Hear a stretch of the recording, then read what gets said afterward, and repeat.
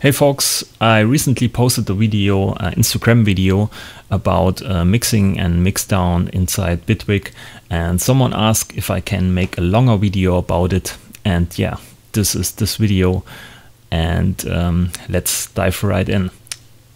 Um, the first thing we have to clarify is how the meters inside Bitwig actually work and it's pretty easy and um, we have a manual of Bitwig here and it shows that you have a dashed line at the top uh, which shows the peak level and you have the filled line in the middle that shows an average level and uh, a number value at the bottom which shows the hold peak hold level. And the peak level is basically um, the measurement every millisecond or so. So you have the momentary the short-term uh, maximum amplitude. So you can measure all the peaks in here and the average level is basically um, a time frame of the wave file in this case maybe um, this long 300 milliseconds. And you get an average level. And this tells you how loud the material actually is. And then you have the peak hold level and this shows you the uh, max uh, max peaked value. And this is maybe this point in this wave file is maybe here. And yeah, all we need for a nice, uh, good sounding neutral mixdown is the average level. And all you have to do is take your track of choice and try to level everything around the same uh, value. And I can take the space uh, group here and try to level it around minus 20 dB.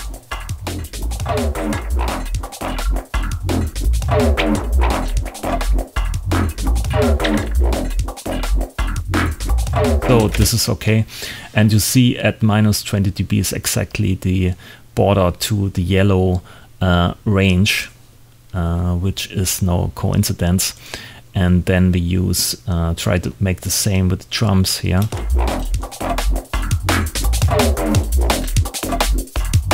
Just so it barely transitions to the uh, yellow range. And we have a good, yeah, well balanced mix down between drums and bass. And you can do this with all your tracks.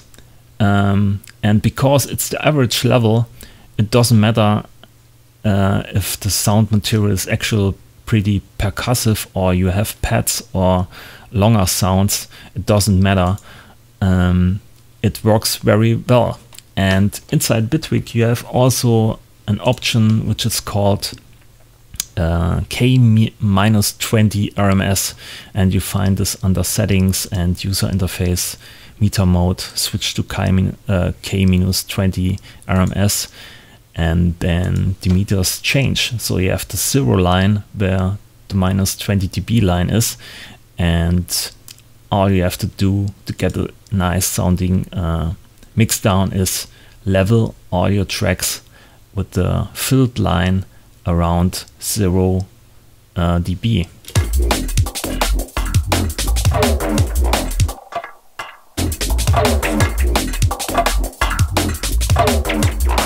And you can see now the groove percussions, the drums and the bass are at the same loudness level. And this is basically what this method does. It brings all your tracks to the same loudness level. And yeah, you don't want that in the end result. Um, because uh, in this case, I don't want the groove percussions that loud. So I pull them down. Um, but it gives you a nice starting point or some kind of guidance to your final mixdown. So you bring everything to the same loudness and then you apply your opinions about certain tracks.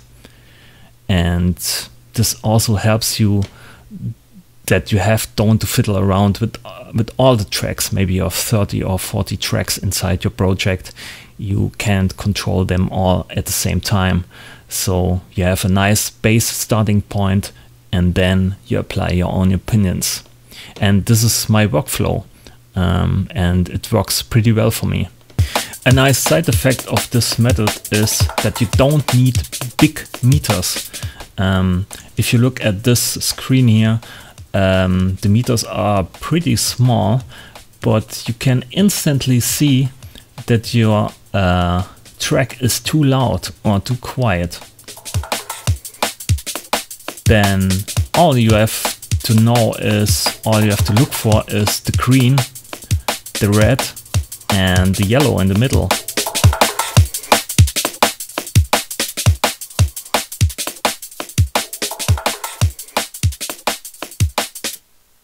If you see only green, it's too quiet. If you see red, it's too loud. And when you see the green and sometimes a bit of yellow, then it's right. So in terms of meters, you, all you need is three LEDs, green, yellow and red.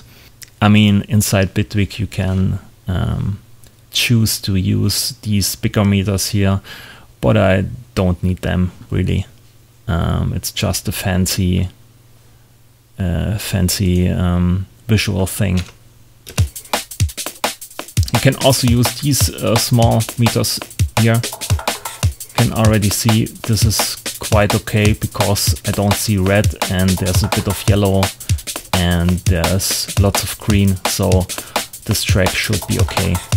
In this case here I can see it's too quiet. Um, this is too quiet. So you can instantly uh, see where the problems are and of course you can use some third-party VST plugins. In this case it's the MV Meter 2. I put a uh, link in the description below so you can download it. Um, it has a nice analog visual uh, but it's the same thing basically. All you have to do uh, is to tune the reference level to minus 20 and then you have the zero line at exactly minus 20 dB. And yeah, again, all you have to do is level your track around zero. And in this case, I have the MV meter on the track itself and the fader from Bitwig is post FX. Um, so it has no influence on the VST. You can either use a tool in front of the meter. Sorry. And use that to level the track.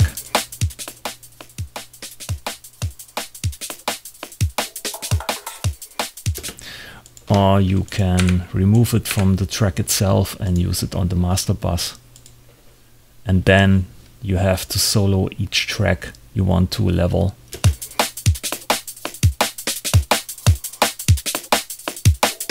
And then you switch from track to track and yeah, level each track against this meter. So that's it for this tutorial. Um, there's one last thing I want to tell you and it's about the RMS measurement. Uh, it can be different in each plugin you use. Sometimes the time frame is 300 uh, milliseconds Sometimes it's another value and sometimes you can change the value for yourself like in this plugin here. And because of this, there's also a standard which is called EBU standard where we have defined time frames and defined names for each value. Um, yeah, be aware of that when you exchange values with a friend or another producer. So yeah, yeah, that's it. Thanks for watching. Leave a like, leave a comment, support me on Patreon. Until next time, see you and bye.